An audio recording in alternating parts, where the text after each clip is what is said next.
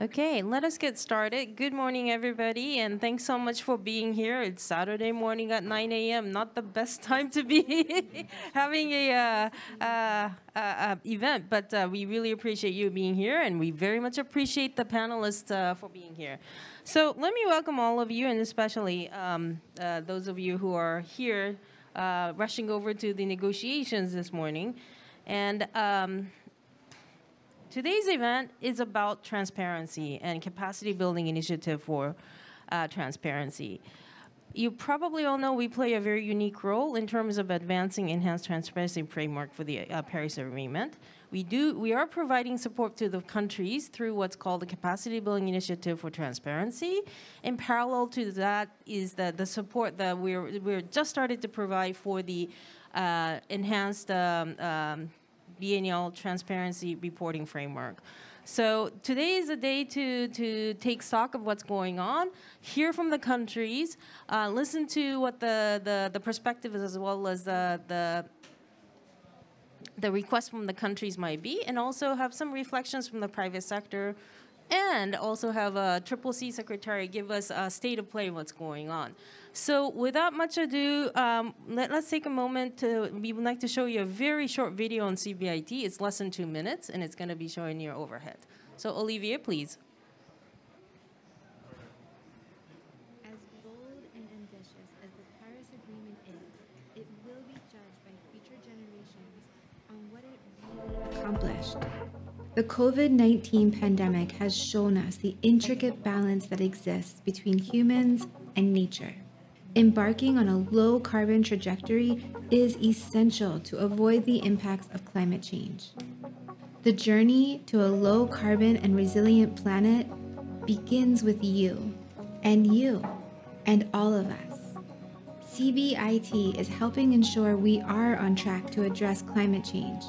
With CBIT support, you'll be able to track progress on the goals your country has established under the Paris Agreement.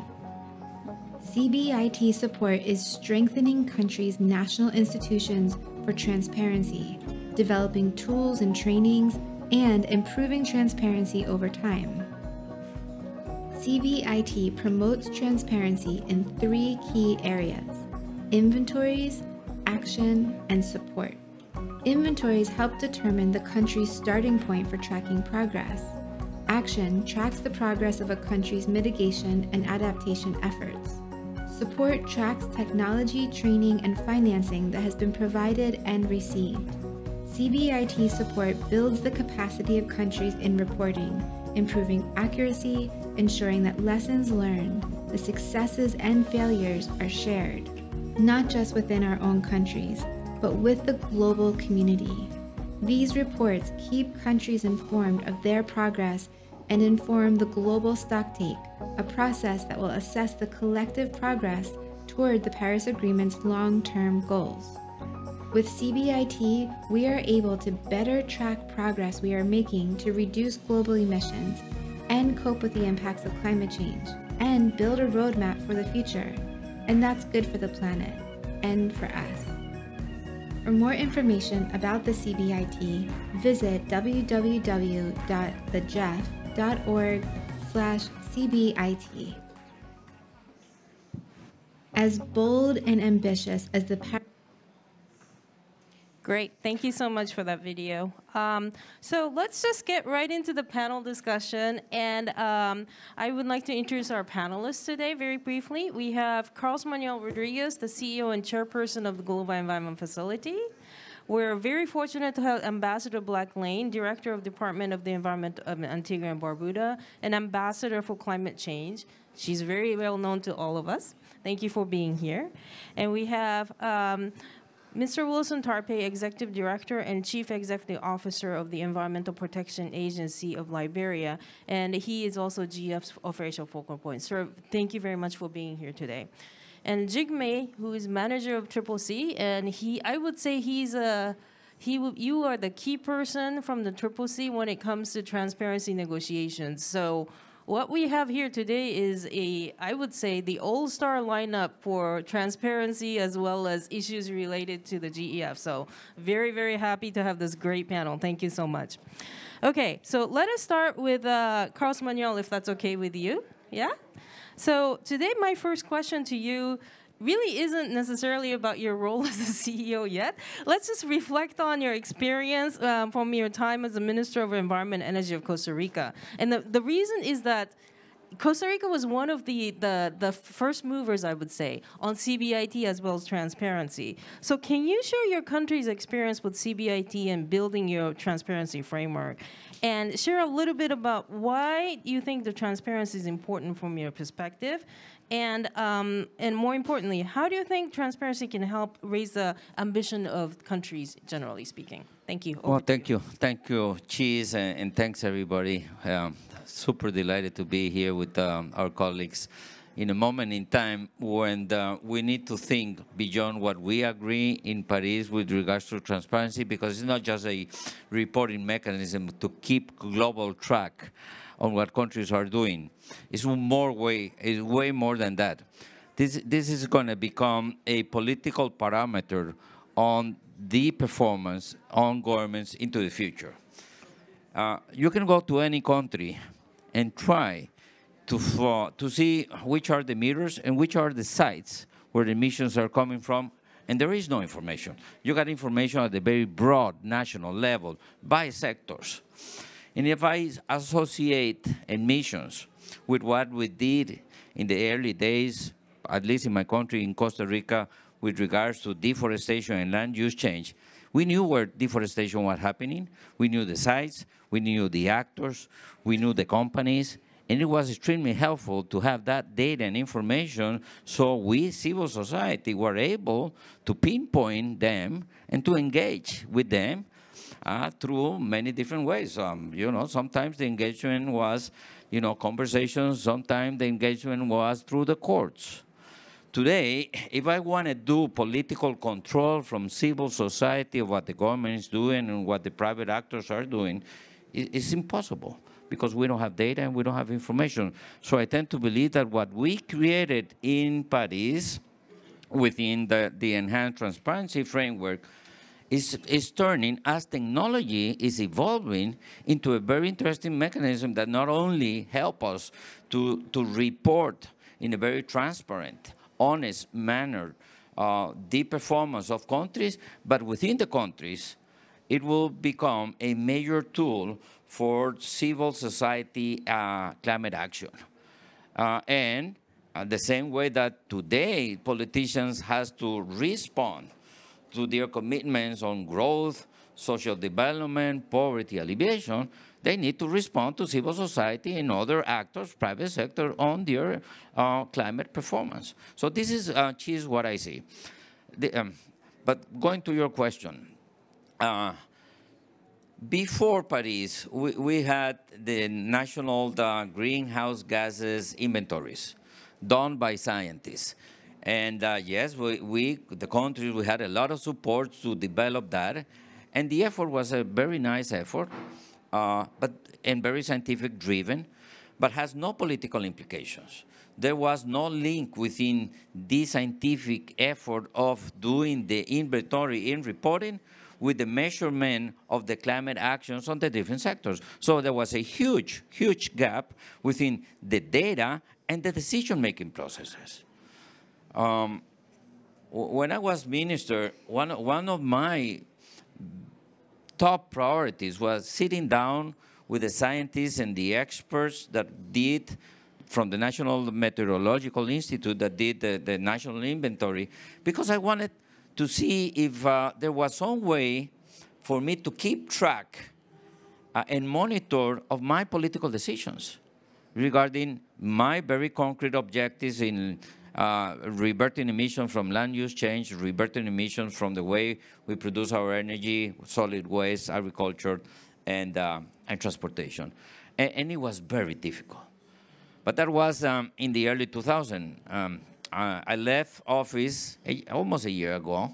But a year ago, things had evolved thanks to the support of uh, GEF, the support of the conventions and the, particularly the Paris Agreement, whereby now I was able to really connect a political decision regarding the implementation of my NDC, in this case, the decarbonization plan, and the uh, monitoring.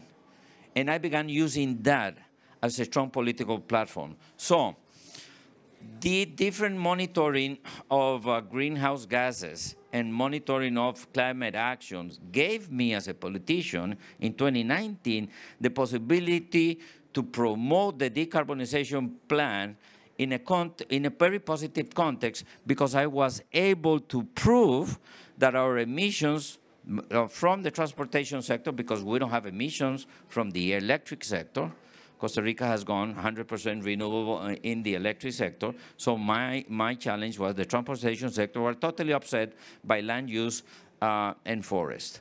And I began to process information that otherwise I would never have the possibility to really strengthen the argument of why we need to decarbonize our economy.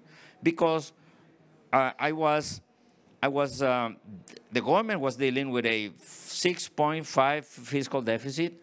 The government was unable to pay the debt. The government was unable to finance ordinary expenses. Uh, we had the opposition in Congress saying no more taxes, you need to cut expenses. And I was there, you know, like a sitting duck, presenting the decarbonization plan. And everybody was firing at me saying, you are crazy, why we need to decarbonize our economy if, if Costa Rica's uh, emissions are 0.005% of total global emissions. Why should we go through this harsh economic process of decarbonize when we have a, um, a fiscal deficit. But the information that came out of reporting uh, to the convention gave me the data by which I was able to create a very strong political narrative that decarbonizing my economy was not against our aspiration for healthy finances and economic growth. And that was beautiful and wonderful. Now, uh, based on this experience and reading, because I try to read as much as possible, reading the advances in the new technology, these, um, the, these uh, methodologies to assess and measure will become one of the biggest uh, assets that civil society will have in the future to do political control of the private sector and political control of, um, of the public sector, as we do it with water pollution, as we did it with land use change. And I think that uh, this is wonderful and great. Yes, besides the global objectives of the Paris Agreement to align everybody with the same standards and be able to measure all with the same baseline and methodologies, the real, real benefit will happen at the country level when we are, because we will be creating those tools that will help civil society to do political control, will help the political class to really assess progress in an objective and straightforward manner. So the GEF will continue supporting countries in, its, in this effort as it continues to evolve and become an excellent decision-making political control tool in every single country. Thank you so much, uh. Thank you so much for that, Carlos Manuel. It really you really set the stage to talk about transparency, not just for the, the global international stock take, as well as issues of having a transparency of action and support comparable among countries, but really how to use the numbers and data as well as the analytics to help inform policy making as well as uh, advance the climate agenda. I think this is a very good um, example from Costa Rica. Thank you. And now we turn to uh, Ambassador uh, Black-Layne. Diane, if I may call you that. Um, for us, Antigua and Barbuda really has been a front runner in developing capacities related to transparency, and also uh, coming to the GEF to to access resources for both the CBIT, which is for the capacity element, but you are also being one of the front runners to access resources from the the, the biennial transparency reporting, and I think this is uh, in small no small part thanks to your leadership as well as vision and knowing how the um, the the requirements are uh, just around the corner, so to speak. So, with that in mind, um, can you share uh, some of the experiences that you have had in Antigua and so uh, so far, and how is this working out in terms of the CBIT effort? And um, what's your view right now of the uh, the state of play vis-a-vis the um, the readiness of your country uh, for the ETF as well as the transparency reporting? Over to you. So thank you so much for inviting me. I'm sorry I have a cold. I test negative for COVID, so please don't get too worried. I test every day. So, um, right, so Antigua and Barbuda is a very tiny country. And um, in fact, when I started coming to these negotiations, many countries like, you're so small, why are you even here? You know, um, because you don't have very little, you have very little emissions. Uh, oh, you should be able to collect data easily, and so on. So, um, but we don't see it that way. So I, we think small is great. And if you start small, then if you can design a system for the small, then it is great for the big. So if the small cannot participate, then it means something else is wrong with the overall system. So uh, we don't see ourselves that way. So Antigua and Barbuda put out an NDC that we will decarbonize our electricity sector by 2030 and our transportation sector by 2035. But as the head of the, uh, the GEF is saying, there's a huge political risk when you're trying to do this. The fossil fuel industry is really powerful. And if a politician today decide, I want to phase out, and they declare it publicly, they will start to fund the opposition. So our government had a difficulty um, wanting to do what is not only the right thing for the planet, but it was the right thing for the government budget for their income, right? We spend 80 million US dollars per year on importing fossil fuel for Antigua and Barbuda. We can generate all of that at home through wind and solar easily. So we can develop our own national energy system. But we cannot, we couldn't move because of vested interests. So what the CBIT process did for us, it's more than the, the process than the end game it gave us an opportunity to engage everybody into data collection and to count for themselves. Because just like the COVID pandemic and all the fake information about vaccines and what to use and so on, persons were seeing things online in social media and they felt, they really believe a wind turbine will cause cancer. Yeah, I mean, it's a huge amount of misinformation out there so we see the CBIT process and we see the BTR process as a way to not only get government involved in the data collection process, which is hard. Many politicians, sorry, ex-politicians, don't use data. You know, they have their own political data and they, you know polls and stuff like that. And so to get a politician to agree, we're going to use a million dollars. That's a lot of money for us in Antigua to spend on data collection. That is a tough sell. And at the, the GCF, they have $3 million for NAPS. Oh my gosh, that was even tougher sell. My prime minister's like, we need all of this money to, you know, that could do. I said, yes, but the data is important. And we also say that the, some of the biggest companies in this world, the only asset they have is data. So Google, um, Facebook, you name it, it's just data. They don't own buildings, they don't own you know, they're not drilling for nothing, and they're the, some of the biggest companies. So it took a while to get everybody on board. Many, and we don't have everyone on board. However, we convinced the Ministry of Finance, which is the, was a big win for us through the CBIT process. And then we're now able to actually model economic data to show that they can, especially when we're doing our NDCs, we had the data. Our NDC review came at the same time as we're implementing our CBIT. So together, they allowed us to provide as accurate as possible data to show our cabinet and to show our people how much money that they can save. So um, Antigua and Barbuda have aspirations to be part of the ETF. We have aspiration to be part of all aspects of the Paris Agreement and to give our people access to all of those. So the best thing that we can give them is a strong foundation and data. And this is how we see it. And uh, even though we're small, we're still going to take a lead. Thanks. Thank you so much. I think um, the fact that it's it's about data as well as process of getting um, utilizing really uh, the CBIT or the support we can provide um, to build the process as well as get everyone around the table towards decision making and really having the data. Those are um, uh, very uh, insightful Can I say comments. one thing? Yes, of course. And the GEF is much easier to access than the GCF. So You can't say that Thank because you. this is vintage.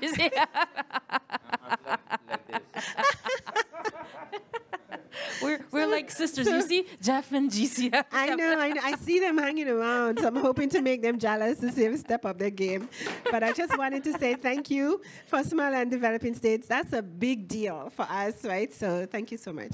Thank you for that. I'll take it as a comment that, that we are we're pretty well streamlined. Thank you, Diane.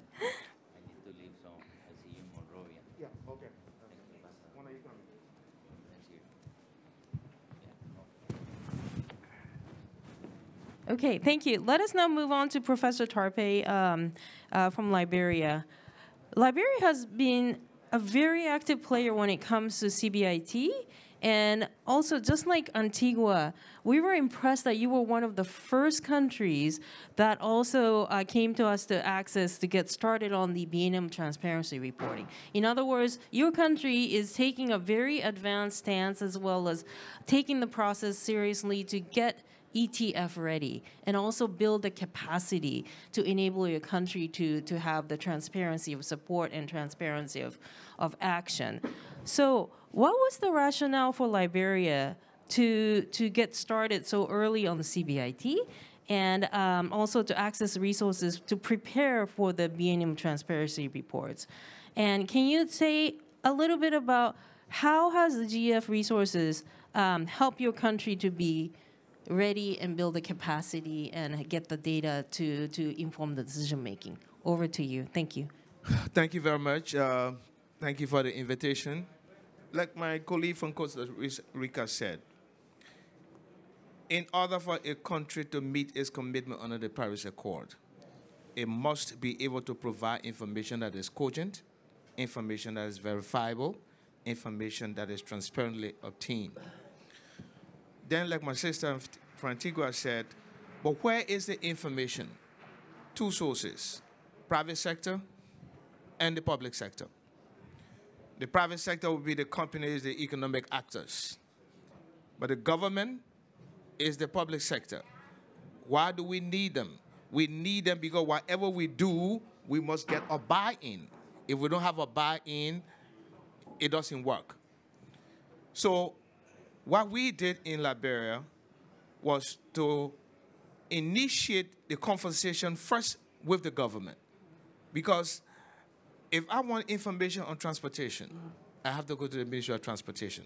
If I want information on energy, I have to go to the Ministry of Landmass and Energy. If I want information on waste, I have to go to the Monrovia City Corporation. If, I, have, if I, I need information on forestry, I have to go to the Forestry Development Authority. And all of these agencies are government agencies or government-related agencies. So what we did when we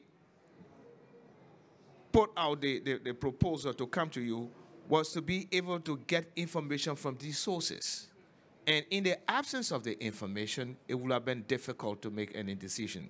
So what did we do when the CBRT information, I mean, when the resources came in, we link the sector ministries.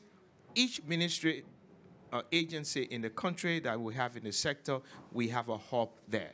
And thanks to this, uh, the CBRT intervention. Why did we do that? Because if, if, if, if we need our information, like my, my, my, my colleague said, say for instance, fossil fuel, the emission from gas. There was a decision that the government was trying to make concerning the importation of used cars. And people said that, uh, well, the older the car is, the cheaper it will be. But the older the car is, the more it will emit GHG. So the decision was, how do you tell the government you can't bring old cars? The government tell you, well, I bring an old car, the population is mostly poor. So the guy can, you know, buy the car very cheap, run it, and read a return. But if you did that, then Liberia's commitment under the Paris Accord um, would be harmed. So how do you tell them that? It was through the CBRT information gathering in the, in the transparency report, we're able to gather data that when you use the car, when the car is old enough and it is imported, it uses fossil fuel and the, the, the, the, the fumes from there will generate things that we do not want to generate. So the information, the research, the data that we got, because of the clarity and the quality of the data, the decision was made that we are no longer bringing allow vehicles more than 10 years to come into the country. Now, without the CBRT intervention, it would have been difficult to do that. It's been extremely difficult to do that. So we look forward to, to, to, to, to, to more intervention, more resources to, to, to, to improve that. Are we there yet? No, but we definitely are on our way. So the GEF intervention on the CBRT is important. Now, the biannual transparency report is important, but it is a function of what we do in the CBRT process. If the CRB, CBRT process is any flawed, then that biannual transparency report will be flawed. But another thing we can create in the B BTR is a countervailing approach also to make sure we can counter-check what is coming from the CBRT. And this is a process we are committed to, and I can say that the government has been able to buy in. For the first time, I can tell you the issue of environment now has reached the level of the presidency. He was here the other day. It's not an easy thing to have policymakers at that level to subscribe to issues of climate change. So I think uh, the, the country as a whole is, is, is, is, is in there. Again, are we there yet? No, but significant progress has been made. So what do we look forward to? Improve resources so that we can, we can, we can, we can in, in, in, uh, uh, harness the, the, the, the quality of what we have. We have the infrastructure, we have the, the framework in place, we have more people in there, but be able to to, to improve on that, on that reporting and build that capacity better. One thing you don't want to do is to build capacity and then you do not sustain it. That capacity has to be sustained. Once you do not, once we sustain the capacity, the same, it gets better and better and better. So this is the approach that we have taken, and we can say that without the GEF intervention with this, trust me, we would not be anywhere near here. So um, Liberia has been committed. We are still committed and, and, and, and some of the people that we have, in order for us to be able to do that, we had to go for self, self training. We exchanged, some people went to Ghana, some people went to Uganda, other places to share the information. And guess what? That exchange has been meaningful because know-how has been shared, knowledge has been, has been compared, and we improve on one, we are better on this, we, we, you create that, and there is a, there's a synergy. So uh, there's no question that the, the, the, the, the CBRT intervention has been helpful. Again, we need to improve on that, and more resources we need to do. One, to make sure we can continue to improve the quality of the reporting, I mean, and, and, and, and retain that core of professionals who are involved in that. Thank you. Thank you so much for uh, Professor Tarpeh and touching on some of the, the, the key issues. I'm really uh, impressed to hear that uh, there is really an effort to move towards data-based decision making and trying to inform policy or uh, politics within your country. And I think this is uh, some of the elements that um, I'm, I'm uh, very happy to hear both from Antigua as well as Liberia. And you also raised a very key issue of building and retaining the talent and the capacity within your own country. And that's something that I, I think uh, we have been struggling a little bit to really come up with a good system to do it. So I'd love to hear more about that. So now let's move on to Jigme, he, who's a manager of the Triple C Secretariat. Um, so because we're on day six now, yeah? Can you share the state of play of the transparency negotiations as you start right now? And where do you see the areas of convergence or disagreement? And also from the, the perspective of the Secretariat, where do you think countries need support or I would say encouragement most in terms of enhancing transparency at this point? Thank you. Over to you. Do you have a microphone? Oh, thank you. You can use two. All right, actually. Uh, thank you, Chizu, for very interesting questions. Uh, I'm not sure I will have answer to all the questions, but I'll try. So, uh, good morning, uh, colleagues. Um, well, when we talk of transparency in the UN, UNFCCC process, the primary driver was this desire to have in place arrangement that can, you know, uh, promote trust and confidence in the process. And it is also one of the core commitments under the convention. And that is good as well as sometimes I feel that that does not help the process. And I'll tell you why. Because so far, we tend to approach this reporting primarily from the lens of we are doing it because it is a commitment, it is commitment to the convention. And that's end of the story. Whereas, as you can see from the panel members here, the intervention from here, there are lo a lot more that uh, transparency can offer nationally. I think it is a very powerful tool for a decision-making process, informed, evidence-based decision-making process. And Costa Rica, I think it's a very um, solid example of how that can happen, and there are many others.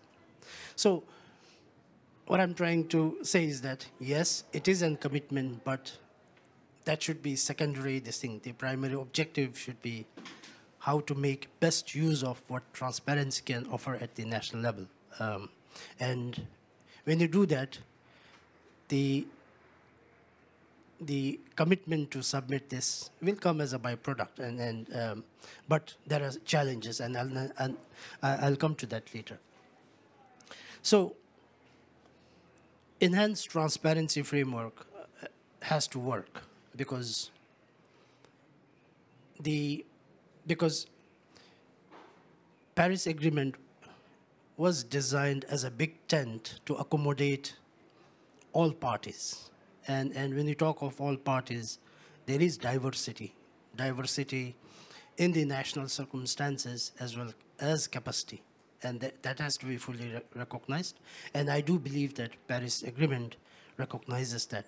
So and, and that same spirit applies to uh, transparency. Uh, and in transparency, we have this principle of flexibility to those developing countries who need it in the light of capacity.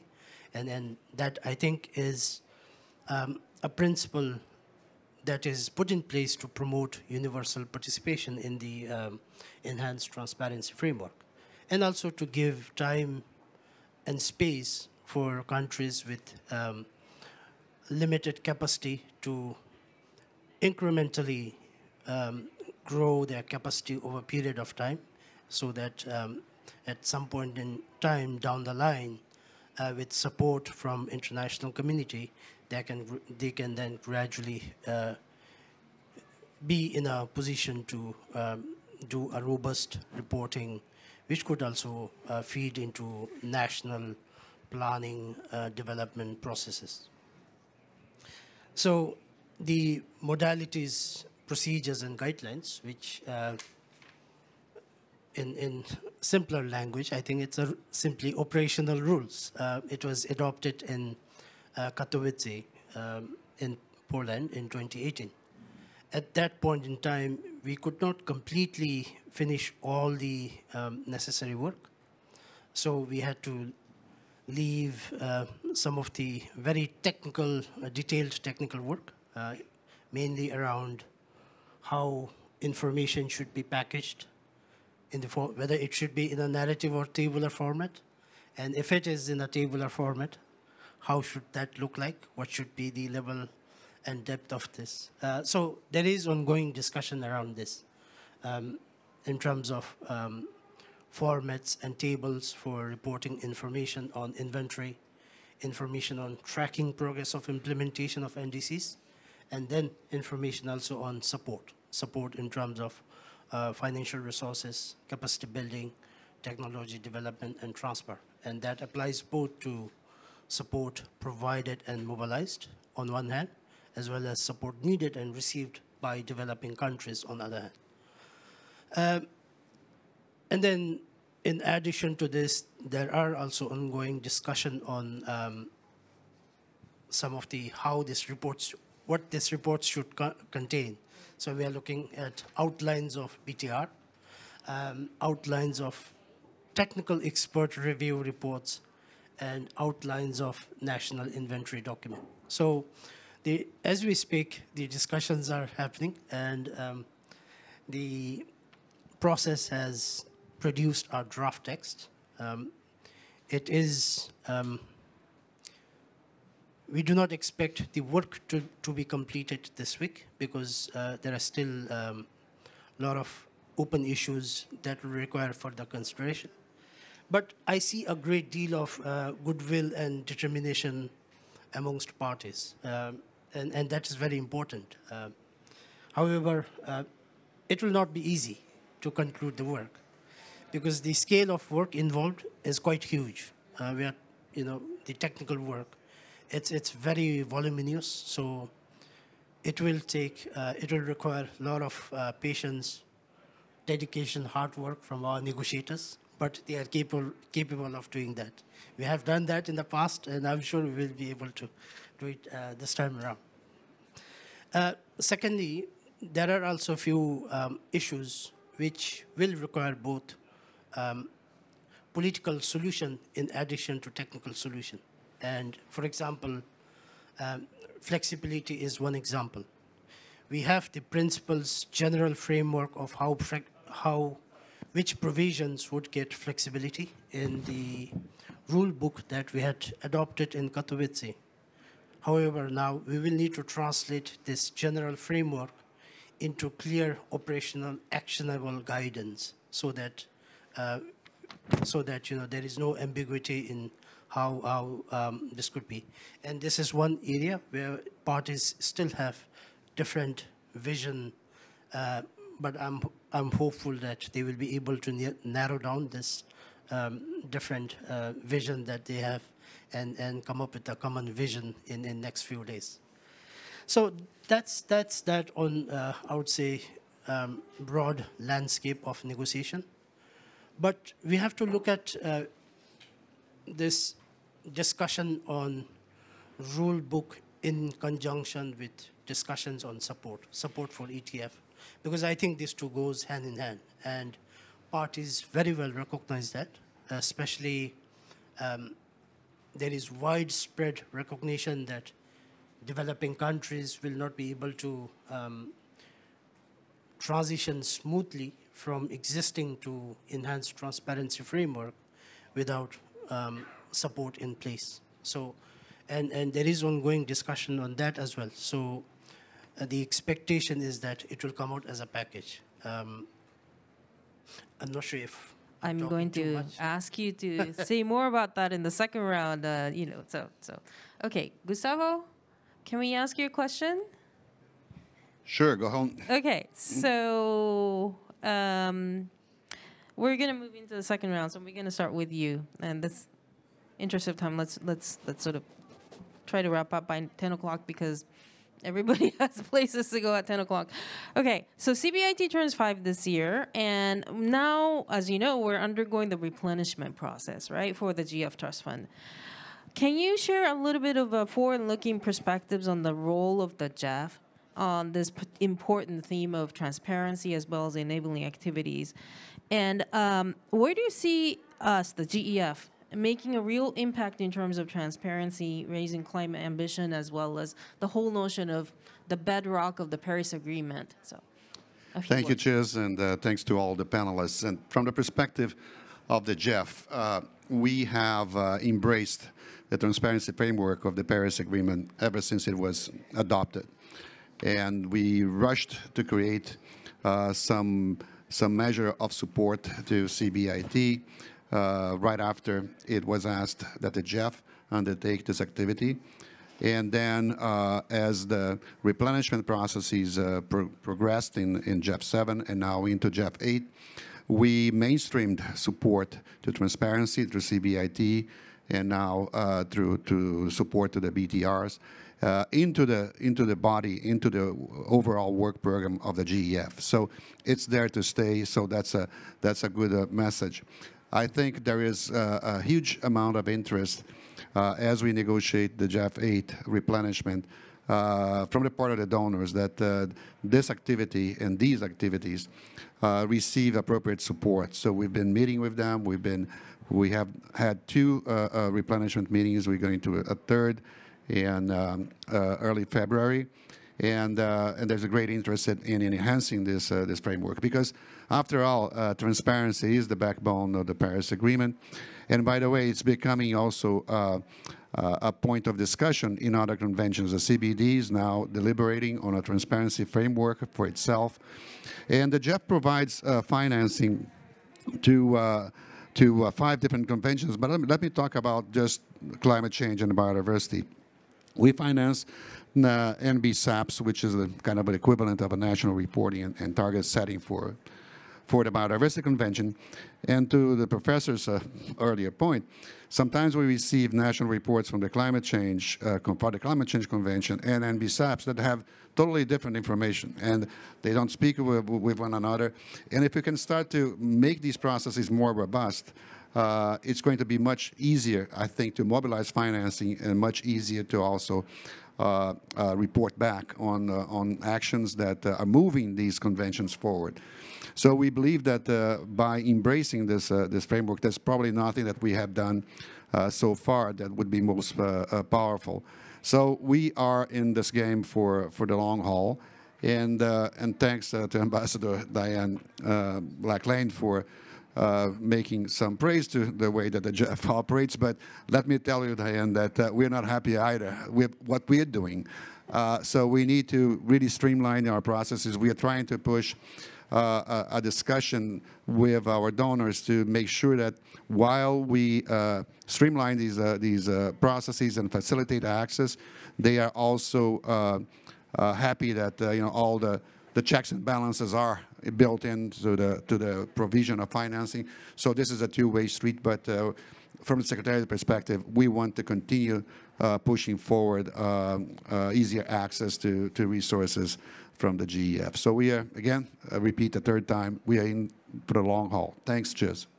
Thank you, Gustavo. And I think in your very short message, there were a lot of things that Jigme was taking notes as to uh, to help inform where we go from here. So back to Diane as well as Professor Tarpeh. Two very quick questions. One, how what would you suggest to other countries uh, to be ETF ready in terms of um, the BTR support as well as CBIT, especially those countries that have yet to engage or think about getting support. And uh, question number two, where do you think countries need the support to transition to ETF successfully? So over to you, Diane, then to Professor. So ETF is markets you're referring to? Yeah. Okay. So uh, many countries don't believe that they'll participate in markets. So that's Article. The transparency framework. The transparency framework. Okay, great. Um, what would I say? Um, I think, like I said before, many countries struggle to make the case to their bosses that this is something to do. And to be frank with you, you, many developing countries don't have a culture of data collection. So for those countries, a million dollars is not enough. Um, so fortunately for Antigua and Barbuda, we have a new university open up in Antigua. So we've been working with the university to institutionalize this whole thing. So we prefer to work with the university to get data that is validated. So that's the problem that the transparency framework is going to face. The data with all of those tables that we agree in is not done, is government providing that information. So how do we know it's accurate? So we're trying to get our universities involved so, because they have a, a more transparent, robust system of data, data collection, which is tough for countries. So, I don't have an answer right now, but that is going to be a struggle where countries will do the best they can to collect the data, and then the data is going to be questioned. And then I, I hate to bring up controversial issues, but you know what happened with the ease of doing business stuff at the World Bank? Yeah, that didn't help at all. So I think the, the, G, the GEF is going to have to look at, and even for transparency, how, what is the data validation system that you want to make sure that countries develop and ensure that is robust? and if that is the case, the, the funds that is being provided now will not be adequate to, to do that. And the GEF could consider doing a sector by sector approach because when you do across economy wide, that money just go like easily. So um, maybe those are some of the strategies that you could use. And one thing about the GEF, I think we could streamline. And I know UNEP is going to hate me for this and, and UNDP, but I know we can do direct access for enabling activities under the GEF, but it's not that. I don't think many people countries started. I think that's what the GCF have better than the GEF to do. So maybe you can think about that as well.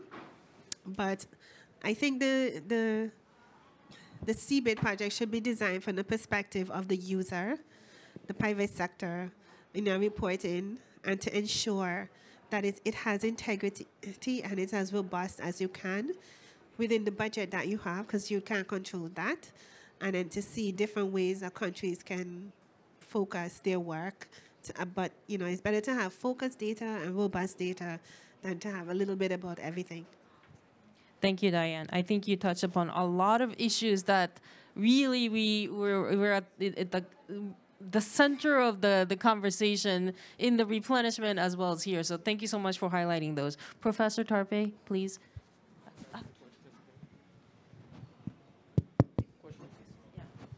So, how what suggestions and recommendations do you have for other countries that have yet to do the CBIT or get ready for the trans, uh, the biennial transparency reporting? So that's question number one.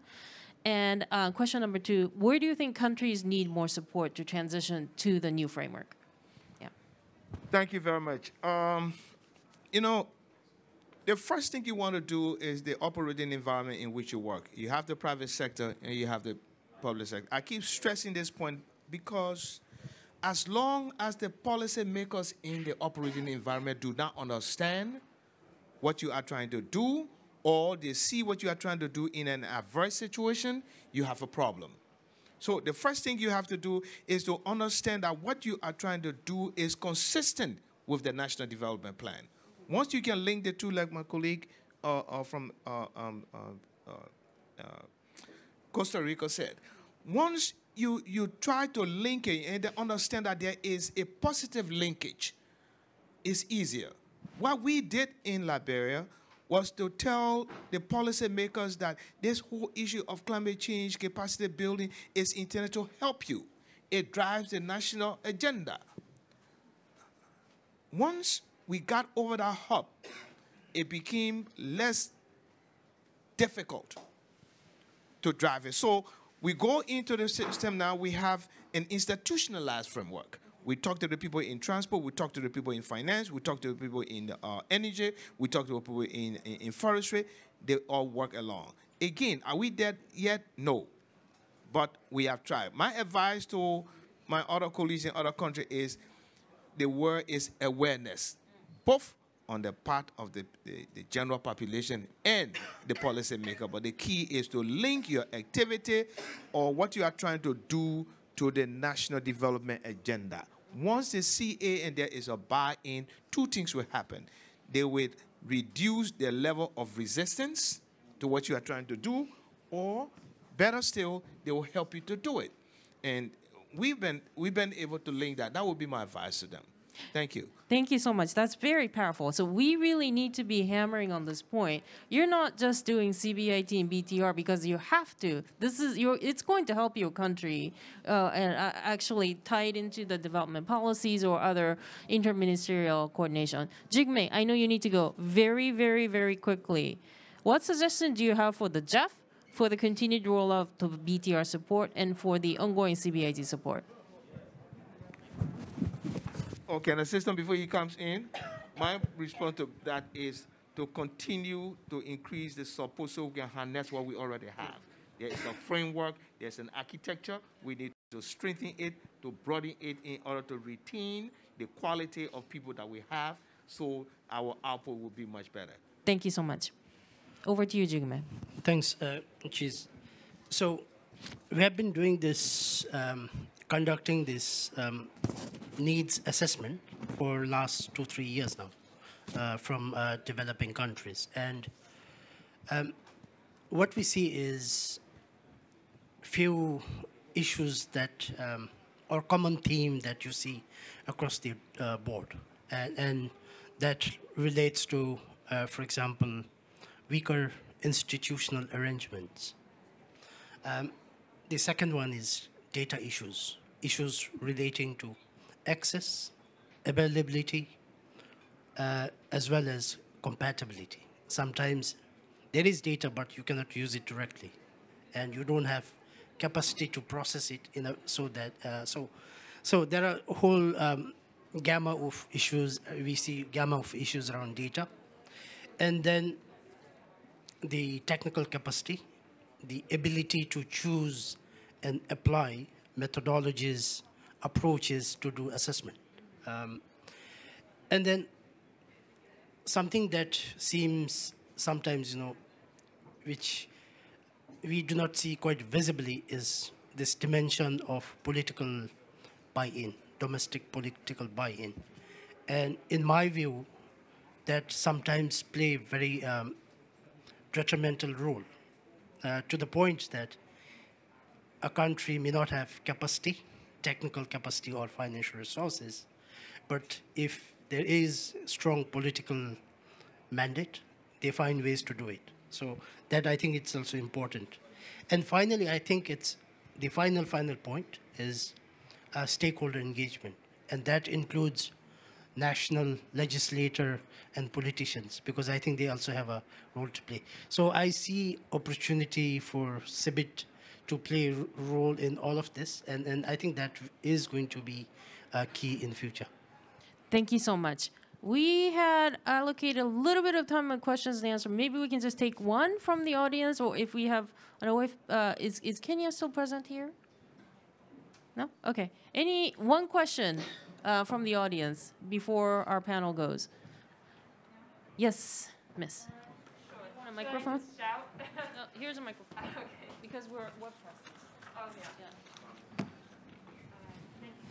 Can you identify yourself? Yeah. Yeah, sure. Is, is this? Okay, uh, my name's Clara Gallagher. Um, I work for IIED and I also used to work for the EPA in Liberia. Um, on this issue of um, retaining those that have been trained and that have practiced in cross-ministerial coordination, what kind of lessons, especially between Liberia and, and Antigua and Barbuda, would there be to share with other countries, like that, that issue on retaining? Thank you. You want to say a few words? Uh, so, one of the reasons why Antigua and Barbuda have been so prominent in preparing our okay, so everything in Antigua is centralized. So my department, we do the NBSAP, so we have coordination, we do the national communication, we do the CBIT, we do the readiness for the GCF and so on. So basically across all of these enabling activities that we access funding, we have a whole team that we can employ to move on. Now the, the thing is the GEF and some and the GCF in particular doesn't like that. So, I mean, they still don't understand how hard it is in developing countries to retain um, people that you tra- train. So, when you're designing the project, they want to know a consultant for four months and stuff like that. So, we, we try to explain as much, and then when they still don't understand, we literally put our feet down and start to scream, We're going to have to fight about this because this is what we have to be up against they're accustomed to one way of doing it at the World Bank or somewhere else. So this is what we did.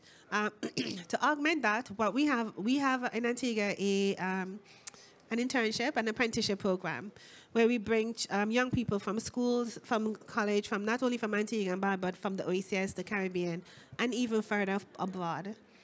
And they come in for the summer and then they can stay on. If you just graduate for six months and we train you, and you just their their job is to just collect baseline data.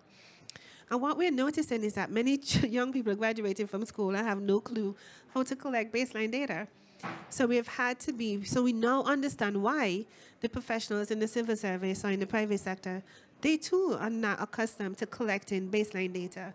So you wonder what kind of decisions government and private sector has been making all along.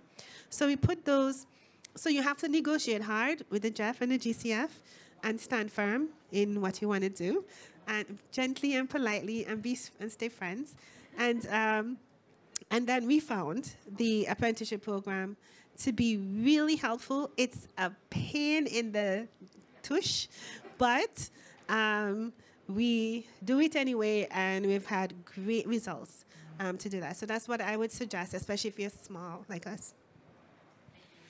Yeah, I think my sister is right.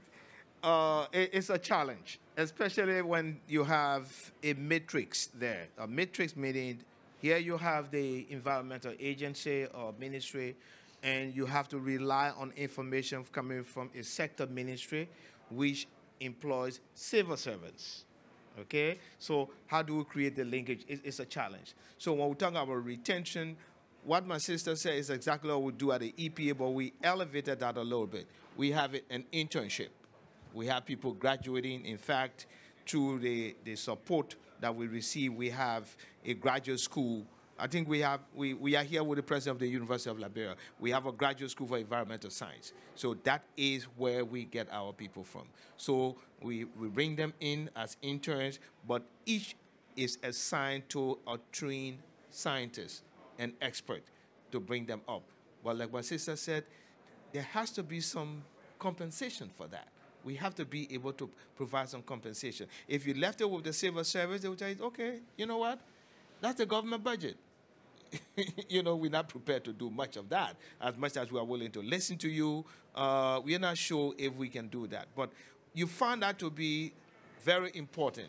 And that's the, uh, somebody said that's the capacity building with the cap.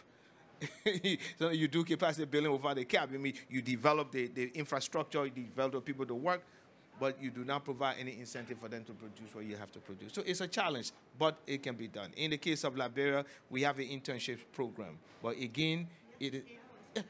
Right, that's it. You have the CBF for the project, but you need it to be to, to, to stay in. So what GEF need to look at probably, not probably, look at it in another way, expand that.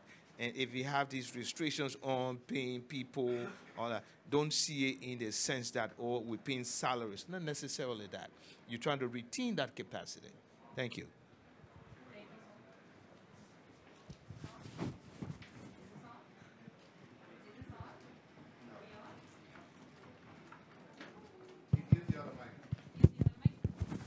Okay, thank you so much for that. Um, we're gonna wrap up this conversation. Um, thank you so much for sharing really, really in, um, deep insights as well as practical suggestions to the GEF. I personally very much enjoy the conversation because it's not just about talking generally about transparency reporting. This is really um, as we speak, the conversations in the negotiations rooms going on, and, and I very much appreciated your candor as well as giving us great insights as well as suggestions. So with that, I'm, we're going to close this panel. I'd like to thank the uh, the All Star panel here from uh, Antigua, Liberia, Triple C Secretariat, and also former Minister of uh, Environment and Energy of Costa Rica, who happens to be my boss. Thank you so much.